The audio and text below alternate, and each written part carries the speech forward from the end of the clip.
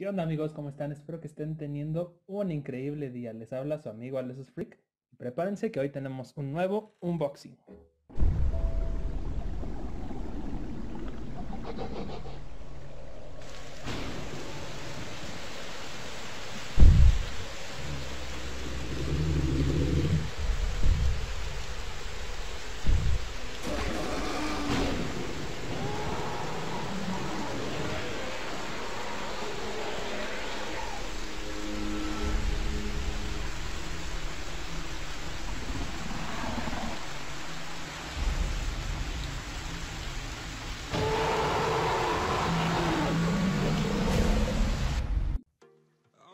Muy bien mi gente, después de muchísimo tiempo tenemos la increíble figura de la Margasaurus de Mattel de Dino Rivals.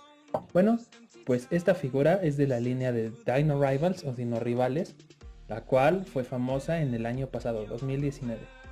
Sin embargo, esta figura curiosamente nunca vio la luz en México, al menos de manera oficial.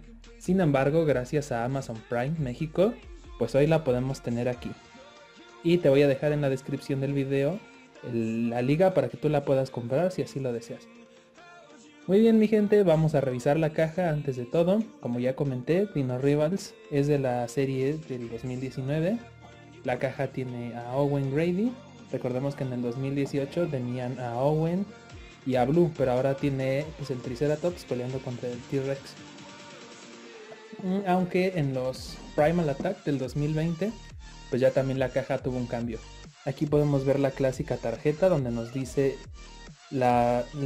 pues las habilidades que tiene o la puntuación en habilidades que tiene este dinosaurio.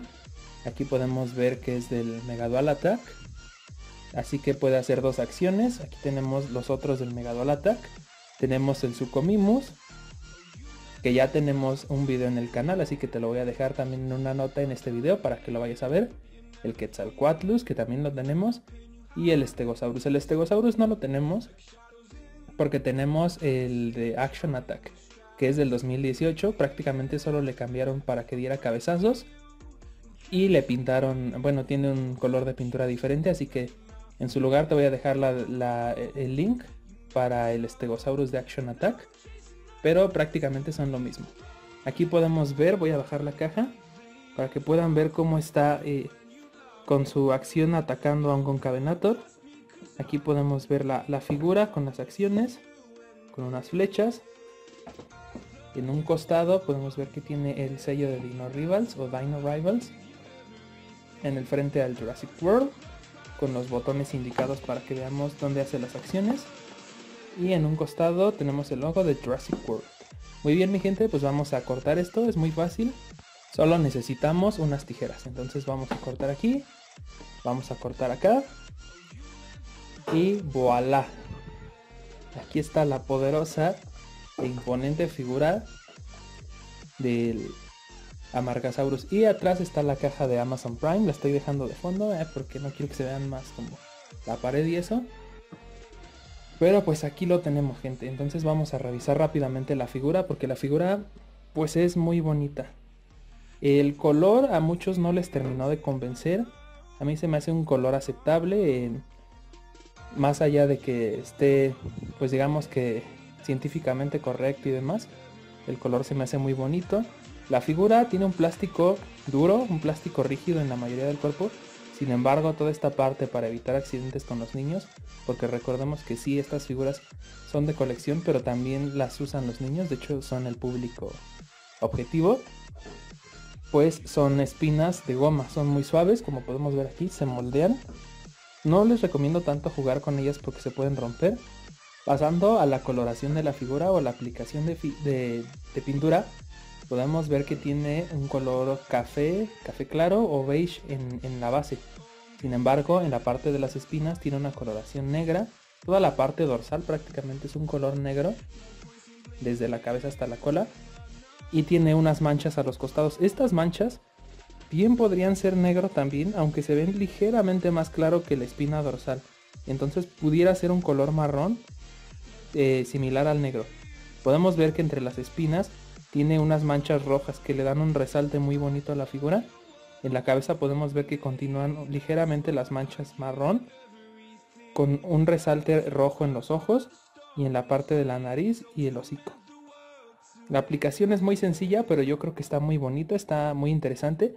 Algo que rescatar de esta figura es la parte de las uñas. Tiene las uñas pintadas en las cuatro patas. Generalmente en, las figuras de Mattel no tienen pintadas las uñas y si lo tienen en el lado de los carnívoros tienen pintadas las patas traseras únicamente y las patas delanteras no. Pues vamos a pasar a la parte de la articulación. Revisando la articulación podemos ver que puede doblar sus, puede, bueno, rotar sus patas. Quizá no en 360, ya aquí en este punto se empieza a sentir duro. No sé si le sea conveniente darle la vuelta, pero tiene un buen rango de movilidad. Podemos verlo de costado. Puede bajar, puede subir bastante. Eso para las cuatro patas. Y las patas traseras tienen la capacidad de separarse, que es una articulación pues que ha trabajado Mattel en muchas de sus figuras de Jurassic World. Las patas delanteras no lo tienen. Aquí les voy a estar dejando la imagen del sello para que puedan escanear este código y tenerlo en su aplicación de Jurassic World Facts. Que por cierto les debo un video de la actualización de, esta aplicación, ya que yo hice un video en el 2018 y se ha ido actualizando. Pero mientras te voy a dejar este video para que te des una vuelta y veas cómo funcionaba la aplicación. Tiene articulación en la cola, tiene dos puntos de articulación que se mueven gracias a la acción que él hace.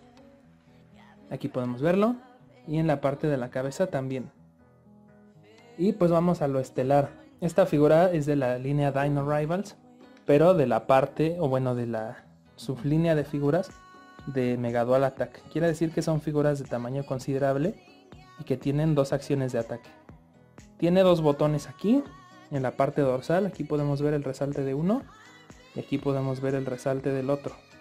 Están pegados uno al lado del otro como desventaja, eh, esta parte es de goma un poco suave para que no nos lastimemos o sobre todo los niños cuando jueguen con ellas.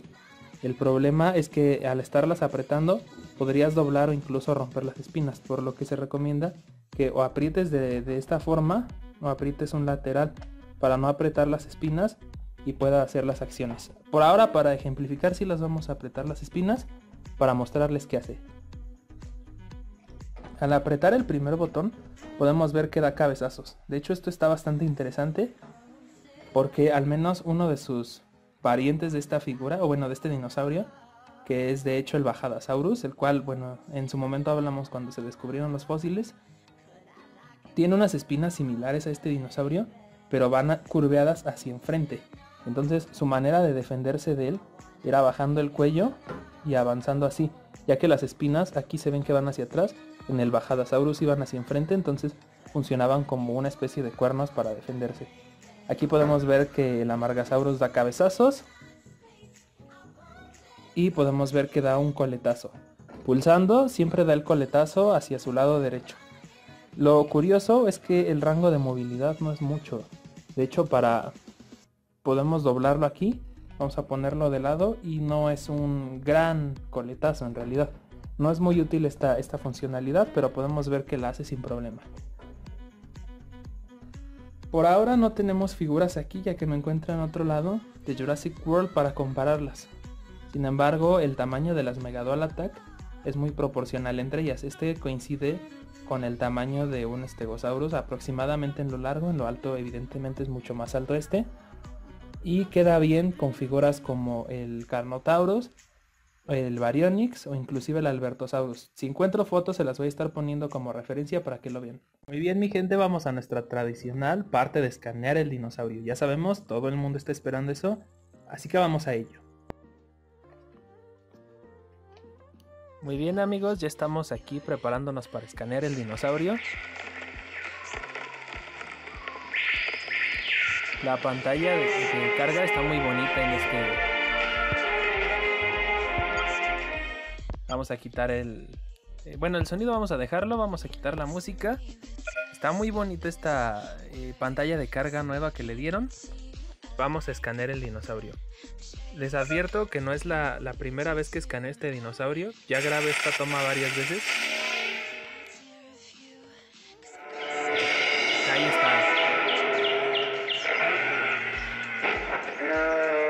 Hecho me dice que el dinosaurio ya fue cargado. Vamos a quitarle el sonido, vamos a la colección. Y vamos a buscar el Amargasaurus. Aquí está. Vean, es una belleza este dinosaurio. Dice, se mueve lentamente, pero es capaz de mantener un largo y sostenido galope. Su sentido del oído es débil comparado con otros saurópodos. El Amargasaurus es cuadrúpedo, lo que quiere decir que caminaba en cuatro patas. Está muy genial esta figura. Bueno, al menos. Bueno, toda la figura, pero yo me refiero en particular ahorita al 3D que podemos ver aquí, esta imagen digital. Podemos ver sus estadísticas, que son las mismas que nos da la tarjeta, fortaleza 5, velocidad 2, inteligencia 2 y agresión 4. Y ahora tiene esta nueva opción la aplicación, para verlo como en 3D podemos hacer que gire. Ahí está, y vamos a ponerle el, sonido para que puedan escuchar sus rugidos. Vamos a buscarlo otra vez y vamos a ponerle sus sonidos.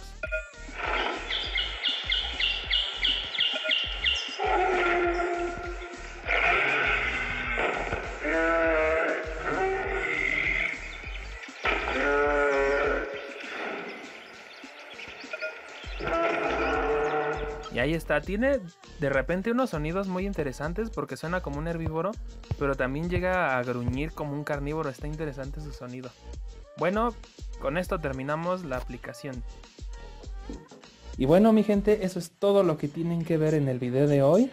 Esta es la review y el unboxing porque participaron en el unboxing del Amargasaurus. Otra cosa que se me olvidó decirles en la articulación es que tiene una articulación muy interesante en la cabeza que ningún otro saurópodo, al menos de los que han hecho, inclusive el Brachiosaurus, la tiene. Podemos ver que sube la cabeza, baja y puede rotar 360 grados.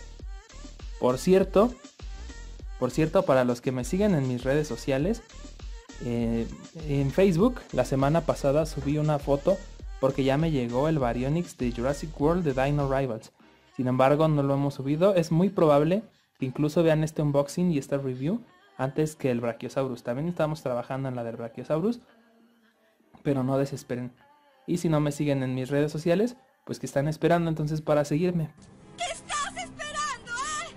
Porque ahí subo muchísimas actualizaciones de noticias, artículos de paleontología para los que son fanáticos de la paleontología. Yo tengo una sección en el canal que se llama Paleontología con Alesus Freak. Sin embargo, por otras actividades que realizo, pues no siempre puedo subir un video. Entonces, en mi Facebook y en Twitter es donde principalmente publico pues estos, estos enlaces de descubrimientos. Por si te quieres ir a dar una vuelta, eres bienvenido. Y gente, para terminar este video les agradezco muchísimo a todos los que se han suscrito y están pendientes del canal viendo los videos, porque ya estamos súper cerca de llegar a los mil suscriptores. Parece un trabajo muy difícil, ha sido un trabajo muy largo, sobre todo porque no me dedico al 100% a subir videos, pero creo que hemos tardado muchísimo en subir a los mil suscriptores. Pero finalmente ya estamos muy cerca, entonces muchas gracias por estar al pendiente. Estaremos viendo qué sucede con el canal. Un abrazo y que estén súper bien. Bye.